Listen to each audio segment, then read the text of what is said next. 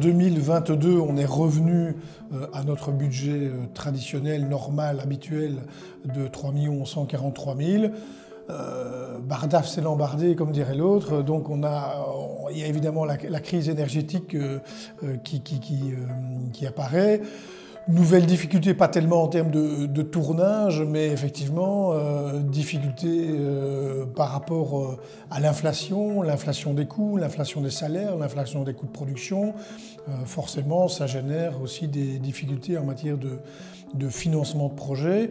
Donc on intervient, nous, vraiment en fin de parcours quand le projet a déjà au minimum euh, pour les longs métrages et les séries 40% euh, de financement, mais notre grille de points favorise forcément aussi les projets qui ont un financement qui est encore plus abouti. Donc plus le financement est abouti, plus le pourcentage du financement du projet est élevé, plus c'est intéressant pour nous euh, d'intervenir, puisqu'on sera certain que le projet sera produit dans dans l'année ou dans l'année, l'année et demie, euh, ça peut être deux ans pour un, long métrage d'animation ou certains types de documentaires, mais nous devons nous être certains que le projet se clôture euh, dans, un laps de temps euh, qui est de l'ordre de deux ans à peu près, parce que nous-mêmes devons rendre des comptes à l'administration sur la bonne fin des, dossiers. En tant que fonds économique, effectivement, on intervient en fonction, comme hein, on le disait tout à l'heure, en fonction du nombre d'emplois qui sont générés par les projets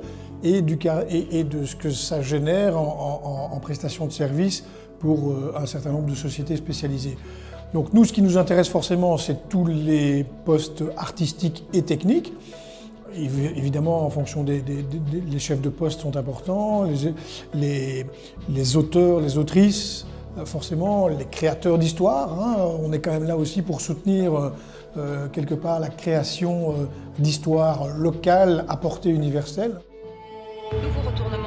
De corruption Andorpe, l'enquête de la juge Claire Delval a donné lieu à différentes perquisitions. Cinq ans que je bosse sur cette affaire Andorpe. Papa, dis-moi la vérité. J'ai besoin de savoir, ils vont trouver quelque chose? Dans les séries récentes, ben, je pense que euh, Pandore, euh, pour ne pas la citer, est probablement celle qui a euh, assez récemment clairement mis Bruxelles, Bruxelles en valeur. toute l'action se passait à Bruxelles. Il y a la série Fils 2 aussi, qui était essentiellement tournée à Bruxelles. Euh, il y a le dernier long métrage de David Lambert, euh, les, Tortues. Il y a Amal, euh, qui se passe entièrement à Bruxelles. Il y a le syndrome des amours passés, qui se passe aussi à, Bruxelles. Enfin, il y a toute une série de, projets qui, de plus en plus, se passent à Bruxelles.